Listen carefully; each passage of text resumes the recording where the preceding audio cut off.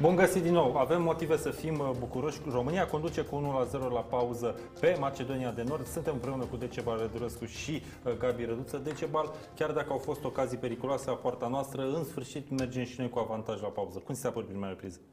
Păi uh, știi ce mi se pare că Mace- Germania nu va fi Macedonia. În Asta primul clar. rând, da? Asta e clar. clar că avem uh, 1-0, e uh, fantastic debut pentru noi, cel puțin după bine 45 de minute. Dar eu am contorizat așa, patru ocazii Mari. mari pentru uh, adversari. Imense, dacă stai să te gândești că da. nici măcar nu i-am blocat noi. Corect și una bună pe final acum cu A și noastră. un 11 metri uh, care cred că Neacordat. trebuia să ne fie acordat. Nu- Avem o problemă la dreapta din punctul meu de vedere la Ovidiu Popescu. Adică uh, uh, acțiunile astea patru de care discut cam de pe acolo s-au, au, uh, au venit. E o problemă în partea dreaptă aici, unde atacă Tănase și unde a făcut-o foarte bine. A găsit spațiul ăla, domnul Răduță poate să ne explice mai bine, tactic uh, a avut spațiu incredibil și plus pasa lui Chiricheș care a fost uh, monumentală, E adevărat. filtrantă, cum și ar zice fundașii un mi se par fost nu de cea mai internațional. bună calitate, cum spuneam. Da, în schimb, execuțiile lor, uh, ultima execuție, inclusiv Pandev, care Comedie. e un jucător Mr. Bean. fabulos, uh, da, uh, scandaloase și uh, din fericire pentru noi, Din scandaloase. fericire pentru noi, da. da. Gabi, dacă uh, atacanții Macedoniei ar fi fost cu capul pe umeri, care ar fi fost scorul din punctul tău de vedere? Uh, Da, într-adevăr, ne-am, ne-am cam împărțit uh, momentele de joc. Eu, din punctul meu de vedere, a fost un meci echilibrat, dar cu, cu mult mai multe ocazii pentru echipa Macedoniei. Uh, Din fericire pentru noi, execuțiile nu, nu, nu au fost corespunzătoare pentru așa nivel, adică de mult nu am mai văzut așa ceva la acest nivel. Uh, Golul nostru a fost un gol frumos pe urcarea lui Chiricheș uh, în atac, uh, a creat superioritate și pe o ieșire greșită la intercepția fundașului uh, macedonian. Uh, La, la sfârșitul reprizei, acum am avut, din punctul meu de vedere, am avut 11 metri la, Corect. la, la Tănase ne, neacordat. Dar uh, până în acest moment uh, nu este nimic jucat. Uh, Echipa Macedoniei a fost mult mai periculoasă că, ca și noi în prima repriză, numai că noi am avut uh, în Tănase un jucător cu mai multă liniște și o execuție bună în, uh, în fața Da, porții. frumoasă execuție, într-adevăr. Rog colegii din regie să ne dați și nouă uh, pe grafic uh, ultimele meciuri. N-am avut timp în prima parte să vedem uh, întâlnire directe dintre România și Macedonia, să vedem cu o posibilă victorie unde ne-am plasat acum. Bun, avem așa România-Macedonia în 2010 amical. Uh, Decebal, tu ai urmărit ani de zile echipa națională a României. Ți-aduce aminte de vreunul dintre meciurile astea? În mod special? România, Macedonia 4-2, 9-7 preliminarii, Macedonia 2-1. Nu mi-aduc au, am Bine, asta nu erau meciuri pe care să le păstrezi așa în amintire, să fim serioși. Macedonia era trupă de adică pluton. știe și uh, domnul Răduță, uh, în anii ăia să joci cu uh, Feroe, Macedonia, Era tot Islanda, aia, exact. era ceva, treceai, erau trei puncte trecute Și ca ziarist clar. care să nu prinzi vreo deplasare Și de ca asta și să te un- trimită, nu? Da, exact. Așteptai Germania. Exact, da. Prin bine, prin 96, da, mai ales prin 96. Mai e o chestiune foarte Te importantă rog. din punctul meu de vedere, discutat uh, după prima repriză. Uh, Cazul Coman. Pentru că noi l-am făcut un caz înaintea meciului L-am făcut. și iată că a fost un caz. Adică, Gabi a spus că am vorbit noi prea mult de el și am atras... uh, iată că a fost un caz. Și nu sunt răutăcios deloc când spun că S-a greșit omul el. ăsta nu s-a antrenat, n-a jucat în ultima vreme și n-aveai cum să-l titularizezi la echipa. Plus că mai are și alte vicii spuse, știute de mine și de noi toți și Te referi la fumat, știe, toată lumea a spus și Hagi că fumează. exact, și la fumat și la adică Dar contează, stai trebuie un pic, să Decebal, fii stai un pic să înțelegem, poftim? contează atât de mult faptul că fumează? Cre- adică crezi că are ruptură musculară acum pentru că fumează? contează foarte mult să te antrenezi. Te rupi când nu ești antrenat. Nu știu, cum e domnul să nu? Da, El așa la, la, Să faci- este, Este la mo- FCSB a jucat în ultima perioadă, dar n-a, ju- n-a, nu s-a ridicat la nivelul De, așteptărilor. depinde de nivelul de acci- accidentării lui. Din ce, nu știu, ce am, ce am observat, s-ar Și putea să fie leziune o ruptură- fibrilară să fie, exact. da. Dacă este o leziune febrilară, înseamnă că este, din punct de vedere al Cât ar putea să stea? Pregătirii. Pre, Pregătirea făcută, neantrenării- sau încălzirea, să nea- zicem, neantre- să- Nu, neantrenării corespunzătoare, că de încălzit Corect. se încălzesc. Adică Corect. el nu cred că se afla la un nivel bun, exact ce ați spus și voi înainte de, Da. de joc și atunci uh, sunt și riscuri să, Dar să cât ar pățești putea să așa stea pe ceva. bară? Păi depinde, dar depinde de, de gravitatea. Pauza stea și o lună, nu? Din Da. câte știu eu la fel. Da, Da, da, da, stai cu mult. siguranță. Dacă- dacă Poate, e rupt- dacă e ruptură musculară, da, cu Dacă e siguranță. fisură, stă mai puțin, dacă e ruptură, Exact. exact. mai mult. Decebal, pe de altă parte, a intrat în Mihailă, s-a ridicat știi- la nivelul așteptărilor Să tale? știi că mi s-a părut că uh, uh, a energizat uh, puțin zona aia. Uh, Eu cred că el trebuia introdus încă de la, din primul minut, Mihailă. Sunt de acord cu tine că asta discutam în prima Da. parte, clar. Uh, Aș mai remarca o greșeală uh, grea și în ultima vreme le cam face a lui Chiricheș. Putea să ne coste la una dintre Le face ocaziile. Decebal de când Dar- a plecat de la Steaua, dacă ți-aduce aminte. Corect. El are nebunia asta, joacă bine, te bazezi pe el și o dată gafează. Corect. Când nu te aștepți. Dar să nu uităm pasa genială dată Și a spălat păcatele. lui Tănase. Da, a, a fost mondială pasa. De un adevărat stanciu, ca să nu zic mai mult.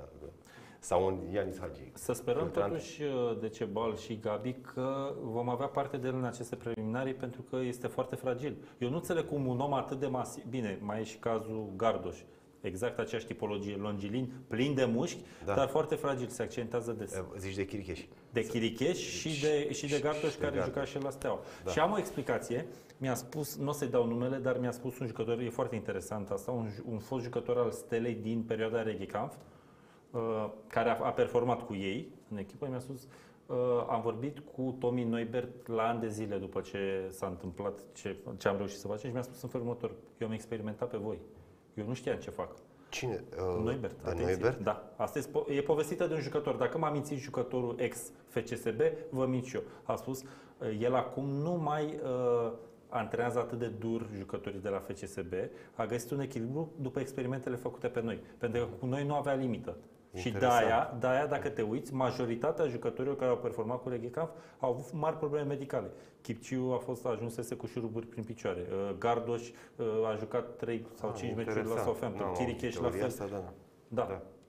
Ce părere ai, Gabi? Poate o, o exagerare a pregătirii fizice să ducă într-o zonă în care să rămâi sensibil toată cariera? Da, Să clar. te consumi, adică? Aceasta înseamnă ri- rigiditatea musculaturii. Noi, dacă știți prea bine, am avut un caz cu Neluțu Sabău. El Da. a avut o, Arata mondial. o problemă, nu numai o problemă, în general, în activitatea lui sportivă și el s-a accidentat foarte mult. Făcea foarte multe uh, ru- rupturi fibrilare Da. uh, prin, prin prisma că el era foarte, foarte preocupat de sală.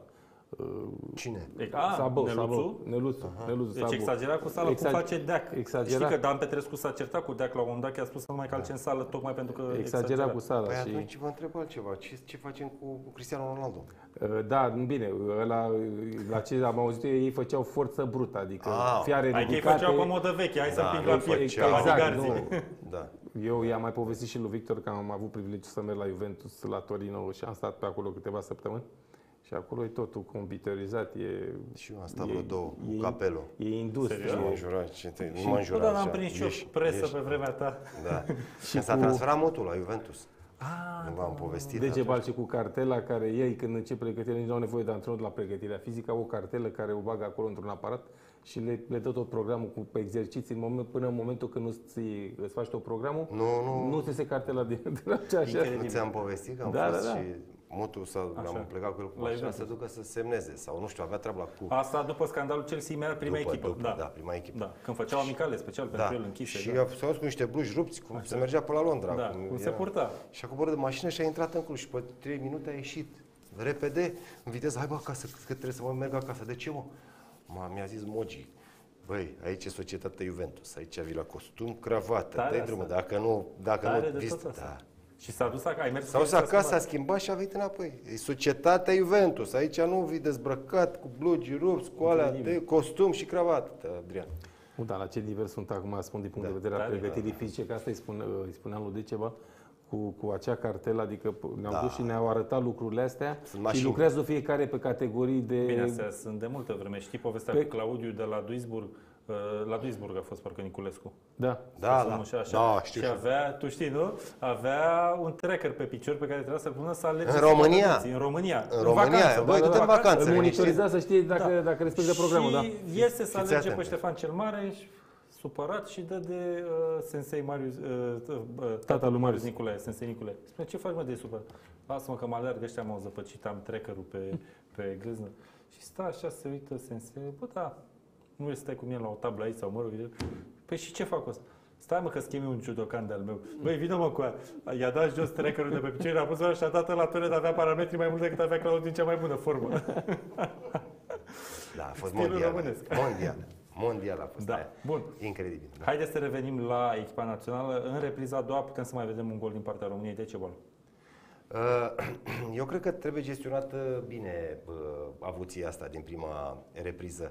Pentru că, așa cum au stat lucrurile, dacă te gândești pur statistic, uh, nu au fost tocmai în regulă pentru noi. Uh, Cred că n-ai ce să schimbi la pauză sau, nu știu, poate la dreapta, acolo, la Popescu și să Dar pe ce? Pe Ticu- Mogoș, dar n-a- Da, adică nu poți nici să bași pe Ianis în momentul ăsta, fac că Ian, uh, că A Man a marcat jucat Tănase. bine, Tănase a jucat bine. Man a jucat bine. Man, da, p- poate că acolo, dar nu cred că e vorba de uh, vreo schimbare la pauză. Trebuie măcar să menținem uh, Poate rezultatul. Ianis cu Stanciu. Poate Ianis Să cu schimbi un Stanciu. pic așezarea Gabi. Stanciu Nu, eu îl obosit, văd, poate uh, cine știe, eu să-l îl văd păstrezi. uh, pe, pe Pușcaș cu Cheșerul, de exemplu. Ah, Adică, Bravo, da, adevărul uite, că vezi ce Cheșerul- înseamnă ochiul. Da, Cheșerul a corect, fost mână să- moartă. Așa este. și plus că putem să punem un pic de presiune, că vedeți că e un rezultat foarte Da, e înșelător. Acum Foarte au văzut- înșelător în da. contextul în care uh, d- uh, dacă echipa Macedoniei uh, se comportă ca în prima repriză să mai aibă vreo două, trei ocazii de gol, nu cred că ne mai iartă.